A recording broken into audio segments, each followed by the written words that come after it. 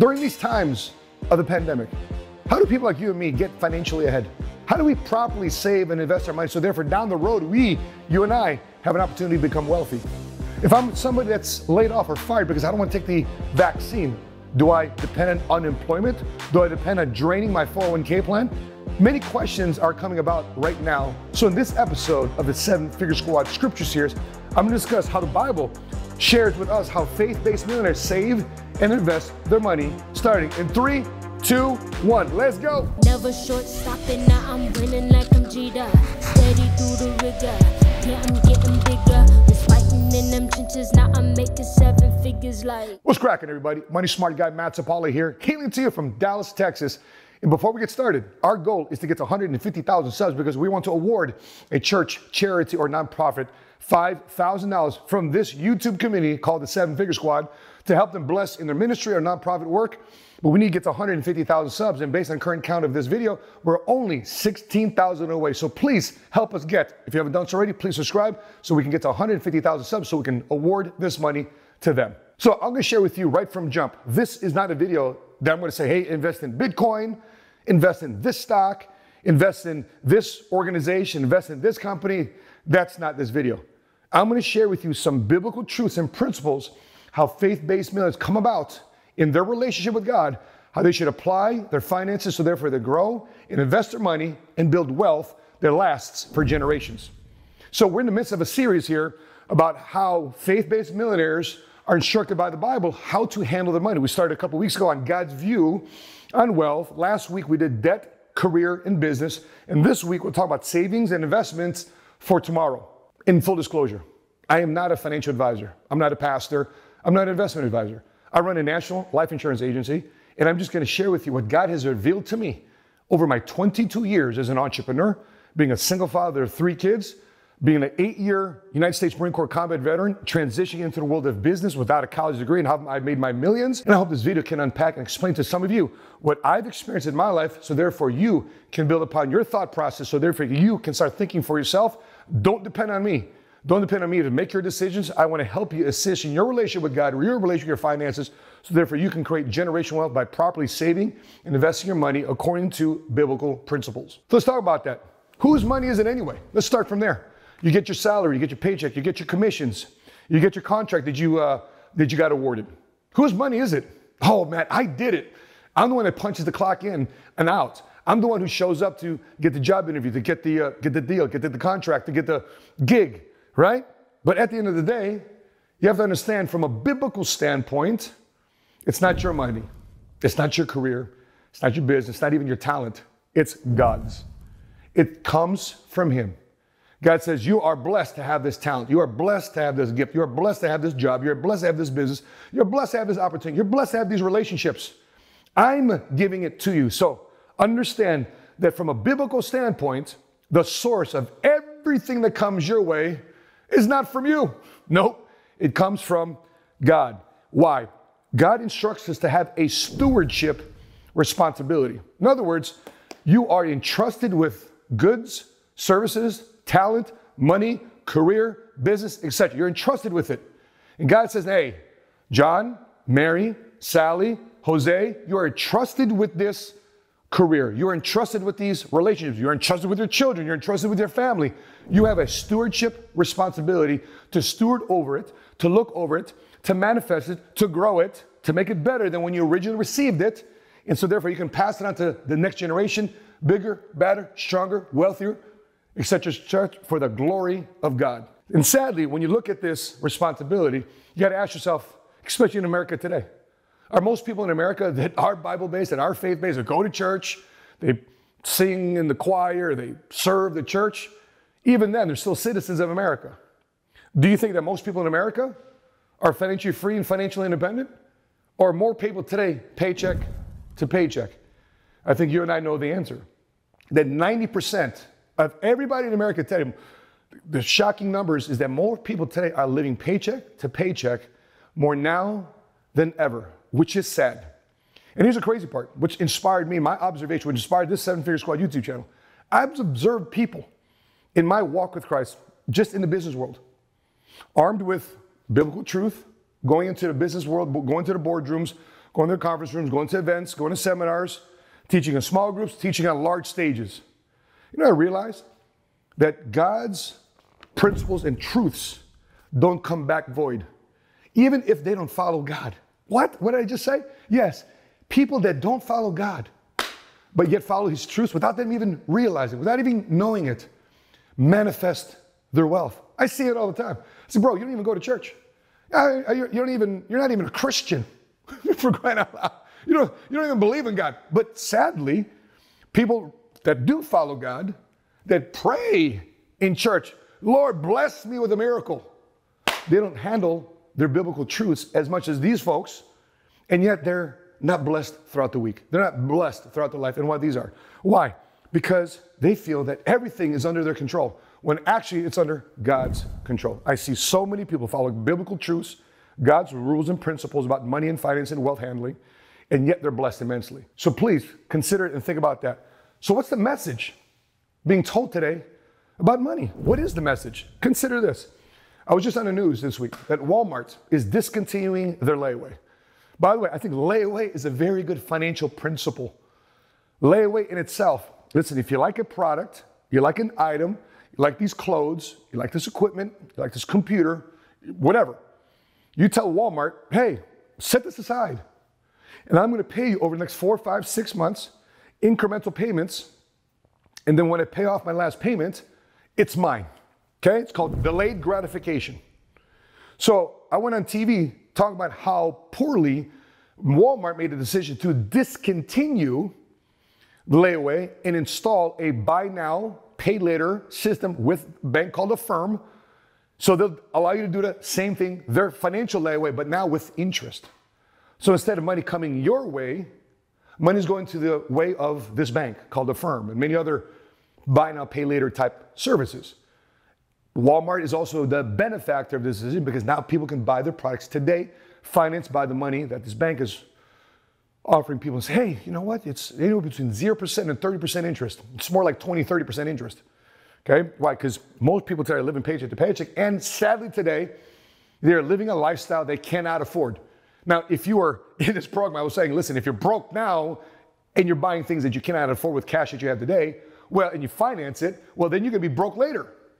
So, corporate America is doing nothing to help you become a better steward with your finances. I mean, think about this real quick.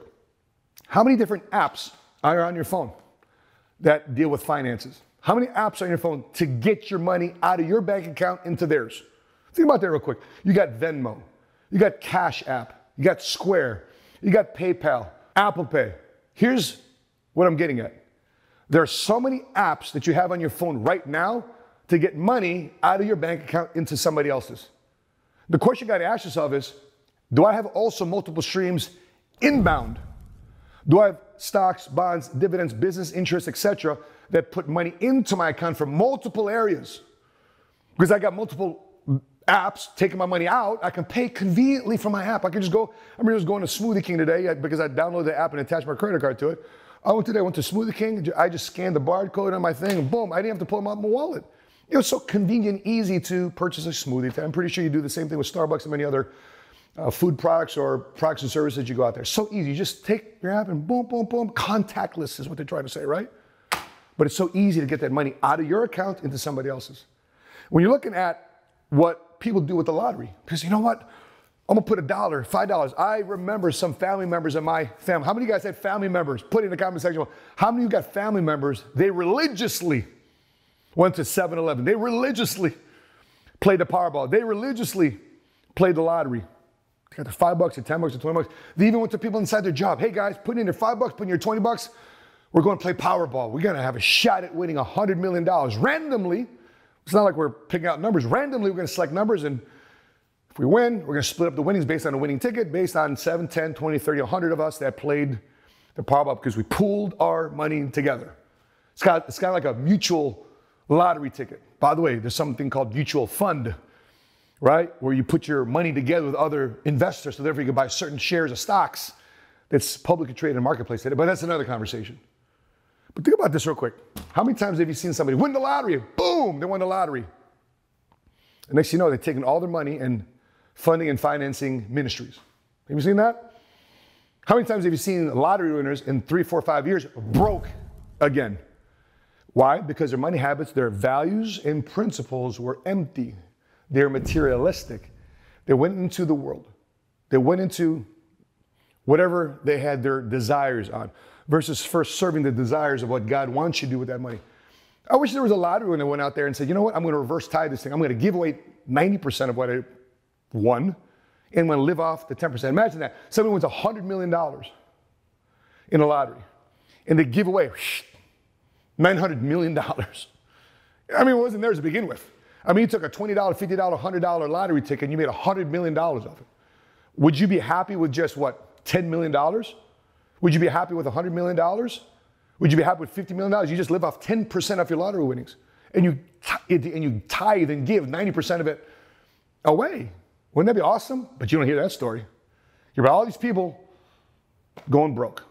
We are just talking about athletes and finances and a couple episodes ago throughout the week and how many athletes three, four, five years after playing in the NBA or NFL, three, four, five years after their professional career is over, they're back to being broke again.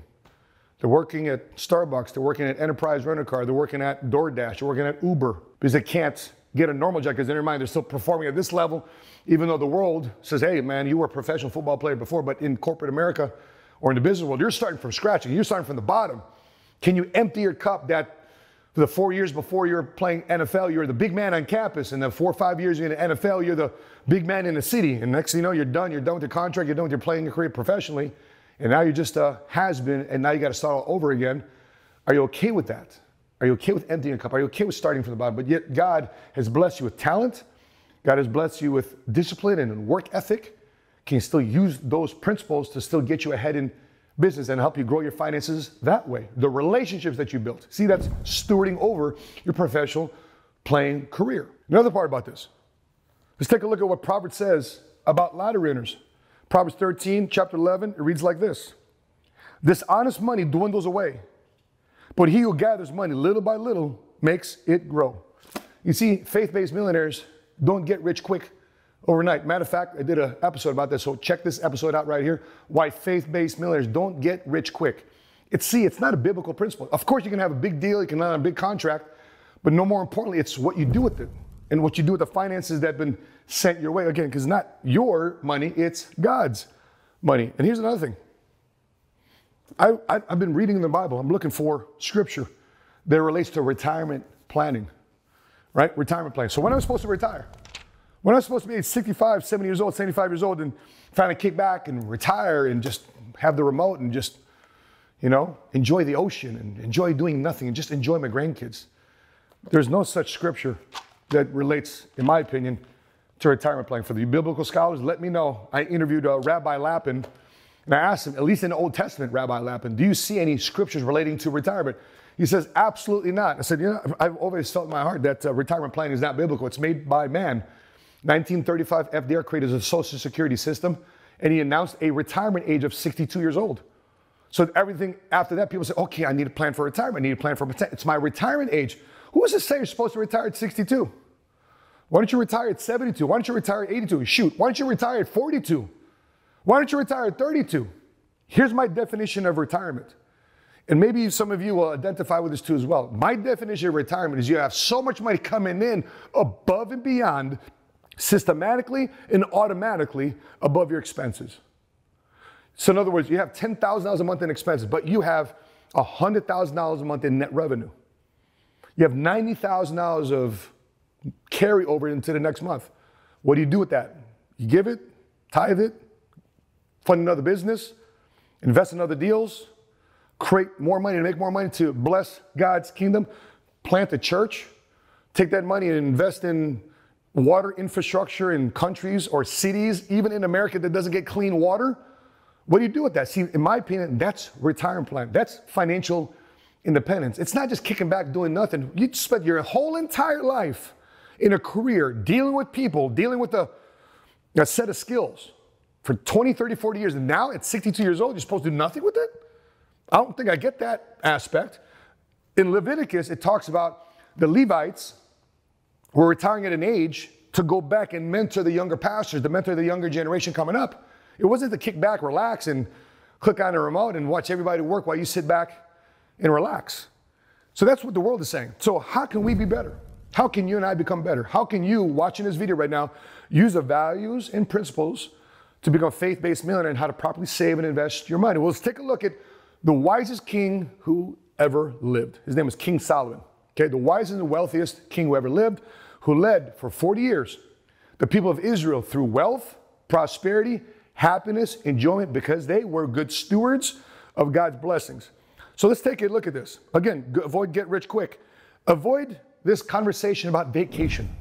I've never liked the word vacation. If you go back to the root word, the etymology of the word vacation, vaca and shun, right? If you put the, those two words together, vaca comes from a Latin root word meaning to remove itself. To remove itself. In other words, like you're vacating an apartment, like you're vacating these premises. That's where vacation comes from. Vaca is to remove yourself. And shun, T I O N, means a present state of being.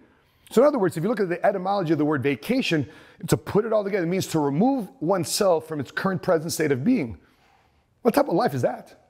And what most people say when they're on vacation? I don't want this vacation to end. One more day, one more day. I don't want to go back home. I want to just stay right here. Hey, what type of life is that to live? You know what happens when I travel the world with faith based millionaires? We've traveled to Aruba a couple months ago. Earlier this went to Maui. Uh, Pre-pandemic, we went to uh, Costa Rica. We went to Dubai. We've been to all places all the world. We're due to have different trips to uh, Paris and Monaco and, and, and, Cancun and Tulum coming here in the short near future. But guess what? We have a conversation with when we're on vacation, quote unquote vacation. Okay. When we're on vacation, we spend a couple days, we travel, eat, boom, boom, enjoy experiences. Our children play together. You know, we're saying to each other, man, I cannot wait to get back home, man. I'm recharged, baby. I can't wait to go back and manifest God's blessings and multiply and help and serve other people. So therefore, they can enjoy this too as well. So there's a difference between a vacation and a vocation.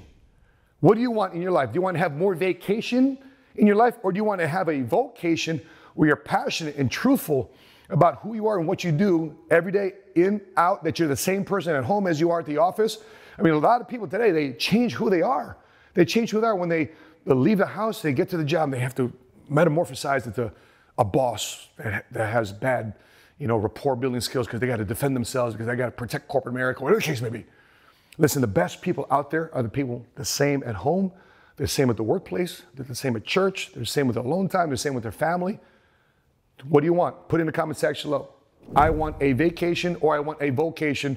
Put in the comment section below. Another thing here, what's going on today? this huge amount of government assistance and unemployment checks coming people's way. Yeah, man, I love those government checks. It's free money from the government. I mean, you rich people, right? They, you deserve, you make a lot of money off the country and backs of, of poor people. You deserve to pay us back. Listen, guys, that's a horrible, horrible perspective to look at the world.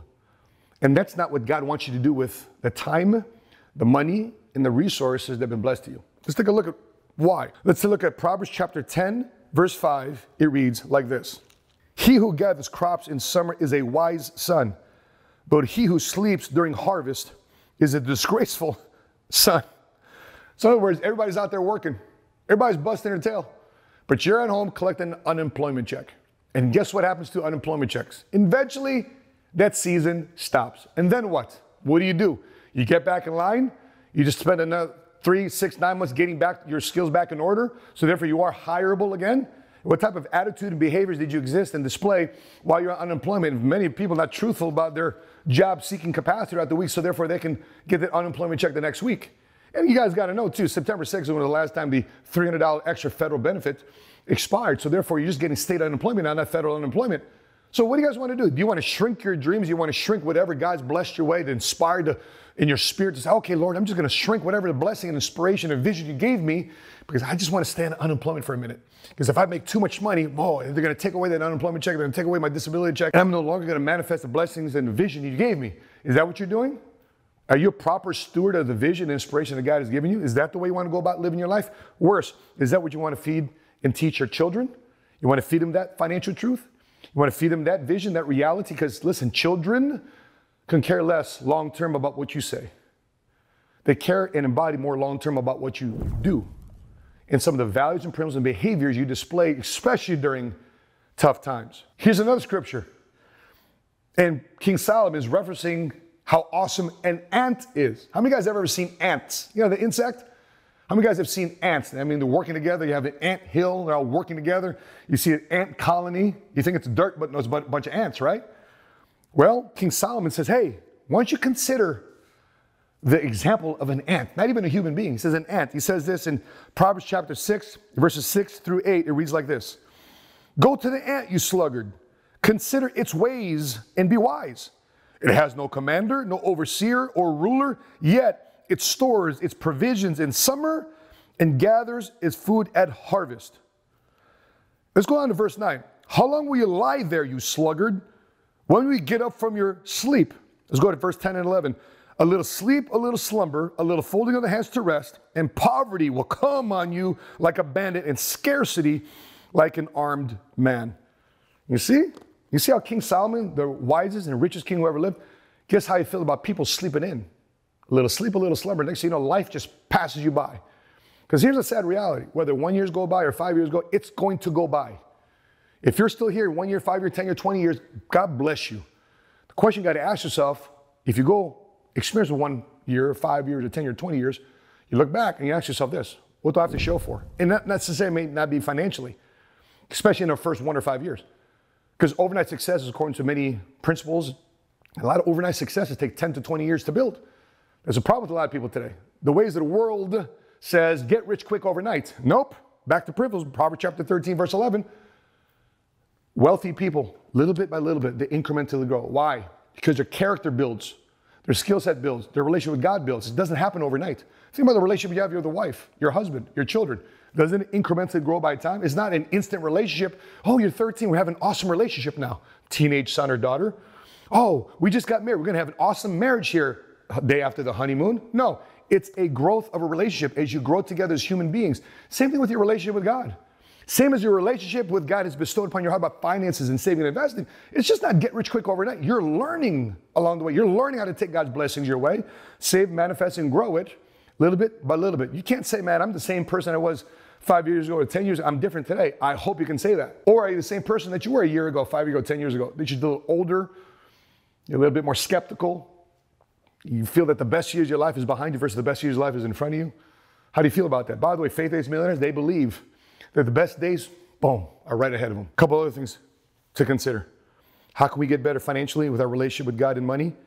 Saving and investing. How about your priorities? Priorities and leaving an inheritance. Let's go to Proverbs 13, chapter 22. It reads like this A good man leaves an inheritance for his children's children, but a sinner's wealth is stored up for the righteous. In other words, yeah, you might be getting you might be getting rich, you might be getting wealthy now, but are you leaving an inheritance? Because if not, guess what? That's going to be stored up and removed from your pockets into the pockets of the righteous. And some of you guys say, well, Matt, you know, you don't understand it. You know, I always got emergencies to come up. You know, I got things that always come up, always come up. Well, that's life.